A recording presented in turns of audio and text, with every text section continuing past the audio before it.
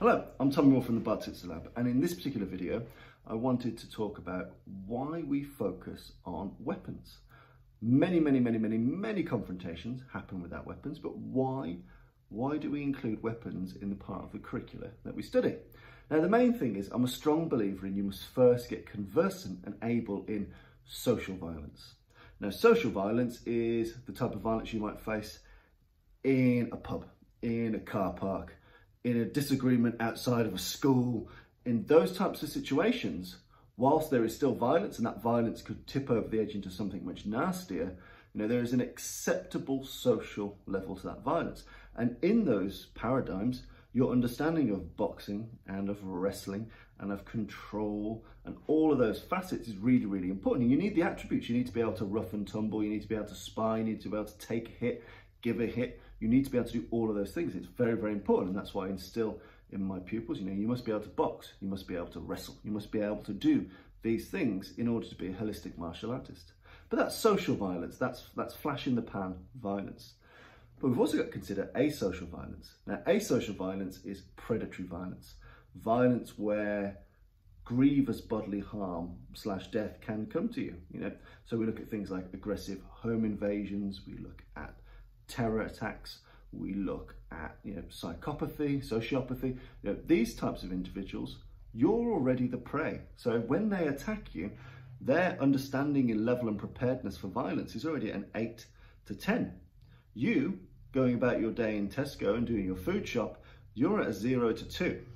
And you need to be able to get from that to 11. You need to exceed his level of violence. And if you're to exceed his level of violence, often you need a shortcut.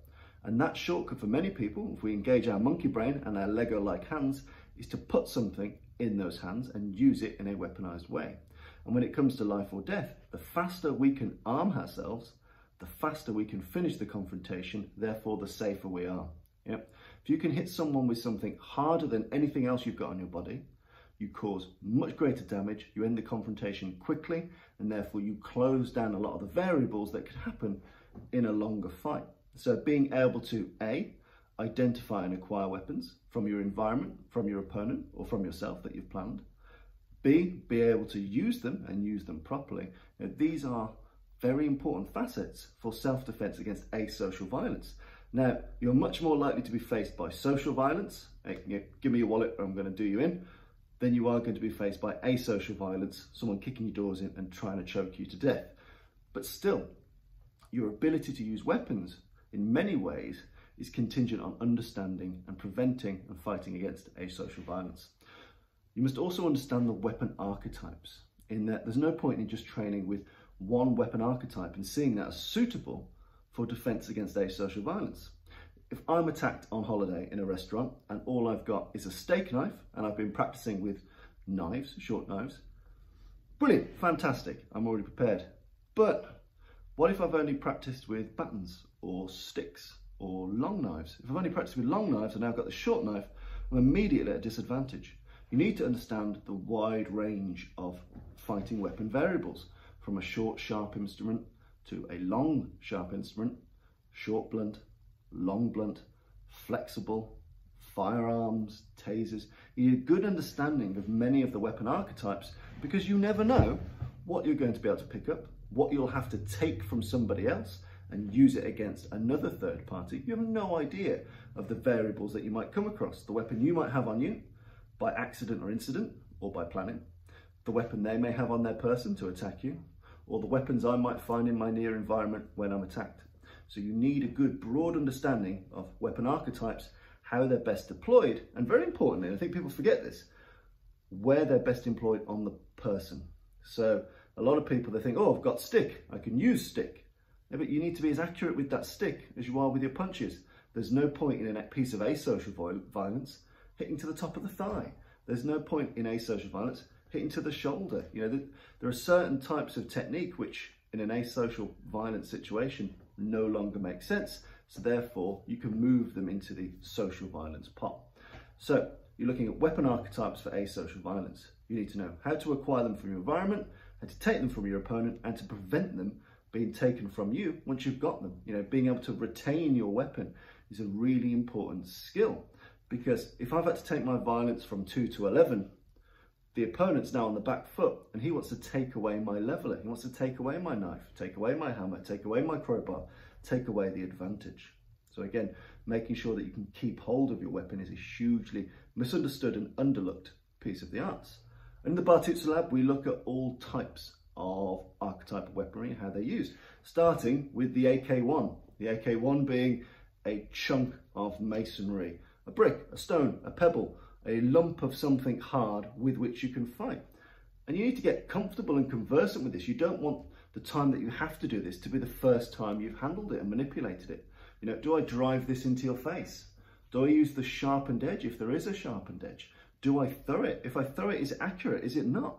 You know, you need to be able to get used to these types of weapons, get familiar with how they feel, how they work, where to hit people with them.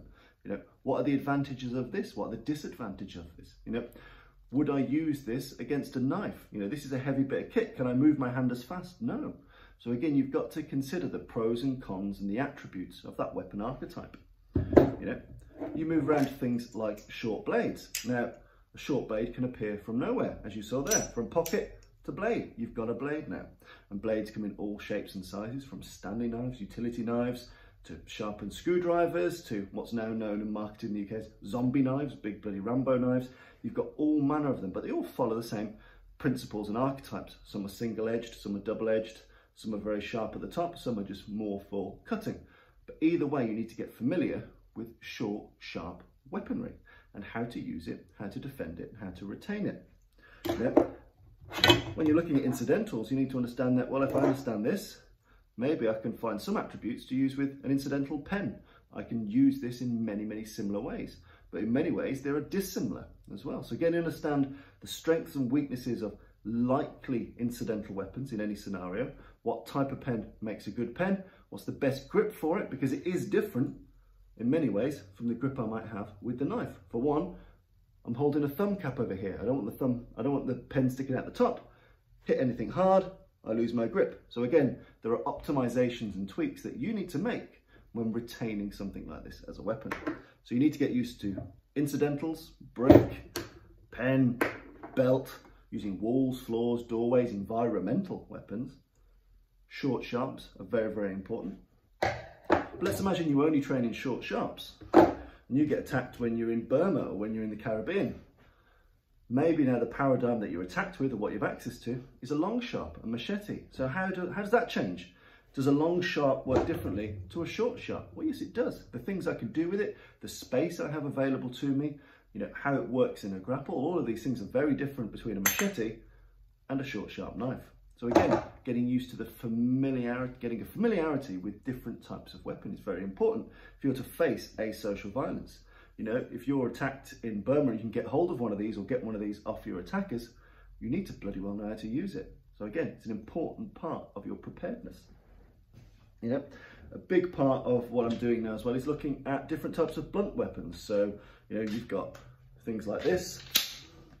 So you've got extendable coshes, batons, baseball bats. You've got all around the world, there are different types of blunt weapon and each have their own different characteristics from when they're in short form or when they're in long form. So you need to be aware of how they're used, what are the best features are, how to defend them and how to retain them on your person, especially with a blunt weapon It's easy for someone to get access to your blunt weapon. So therefore, how do you make sure you get that weapon back or you continue focusing on disabling that attacker? It's a very important thing that we focus on at the Bartitsu Lab.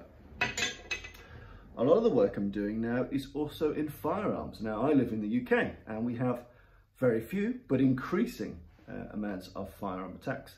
But then you also have to understand that if you're a person of the world, if you go on holidays, if you travel for business, going from the green and lovely pastures of the relatively unarmed UK and finding yourself in parts of the world where weapons are prolific. If you're to get hold of that weapon, you need to, again, know how to use it, how to retain it, how to defend it, how to load it, how to rack it, how to aim it.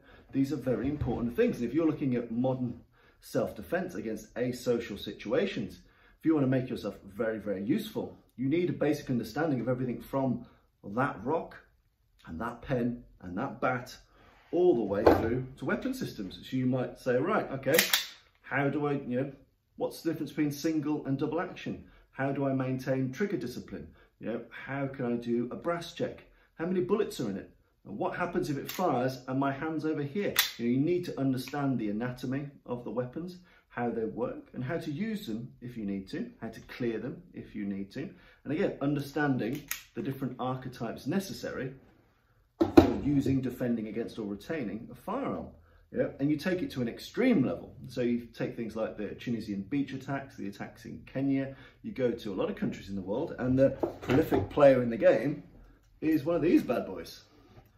And if you're ever unfortunate to have to get one of these off a person or use one of these, you know, if you think of the Paris train attacks, no, those are very lucky because those are members of the military and they have a passing knowledge of, of, of how this weapon system works. Even if it's not their familiar weapon system, they're broadly aware of the principles. So again, it's much the same in what we do in the Bartitsu lab. And I'm spending a lot of time studying with Brett McKenzie from Viking Kapap. So he's ex-British uh, infantry, uh, the Viking regiment.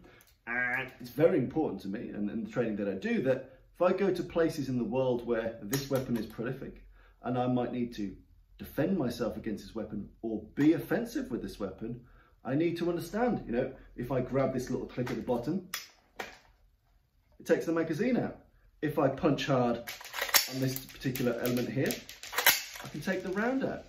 You know, why shouldn't I grab this if it's been firing a lot? Does this get hot? How easy is it to actually hit someone with the butt of the weapon? Is it more conducive to muzzle thump them with the front? You know, understanding the anatomy of the weapon, how it works, how it's loaded. You know, these are things that could save your life one day.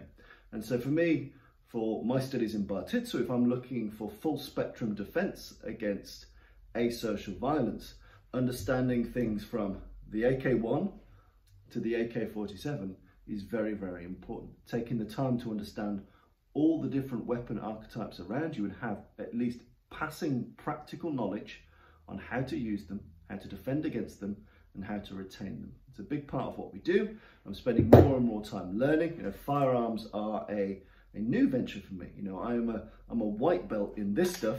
Know, with these I can do some fantastic things. With sticks I can do some fantastic things. Know, with these types of weapons I'm a white belt. So again, you need to make sure that you approach people that have got the skills in those weapons and acquire them and bring them into your holistic mix. Because for me, in the modern Bartitsu that I teach, it's very important in preparedness for asocial violence to be able to get from 2 to 11 and from 2 to 11, as I said at the start of the video, it's about shortcuts. Now obviously you can do it without a weapon, but it's much harder. If I can acquire a weapon, my ability to short jump, you know, shortcut that gap is much better. I can be much more deadly, much more final, I can save myself time. And as with all of these things, everything from the brick, the pen, the pistol, the knife, the baton, the AK, really it's about the mindset, the weaponized mindset of how can I cause maximum damage to you in the shortest possible time, in the safest way for me, so I can get out of Dodge. So never forget that all of these things are tools, they are skills, they are techniques, how to rack, how to load, how to aim, how to punch, how to throw. These are tools in the toolbox, but still you need that aggressive mentality, that strategic mentality, that, that target focused mentality. Yeah being armed is a, is, is a state of mind as well as a, a practical truth. So again, if you're thinking that weapon first mindset in cases of asocial violence, you can find yourself much better prepared to deal with a threat in a way that is most beneficial to you and yours. Um, so those are some rambling thoughts on the use of weapons and how I think about them as part of the Bartitsu Lab. And it's something I'll be increasingly looking at to bring into the fold because as I believe soon as you have the core tools of social violence, how to use the fence, how to negotiate, how to trick, how to strike, how to grapple in a very effective way, you know, it's then incumbent on you, if you're teaching modern holistic self-defense, to have a great understanding of how to go from A to Z in combat weapons, incidental weapons, environmental weapons, because for many people, especially if they don't have the size, the strength, the attributes necessary to do it unarmed, these are the things that will help save their day. So again, making sure we understand the strengths and limitations of the unarmed human, and again, provide some insight into how to best use tools, because we are monkeys that use tools, to help people achieve the best self-protection and self-defense outcomes. Um, so I've been Tommy Moore from the Bartitsu Lab. Hope you found that interesting. Cheers.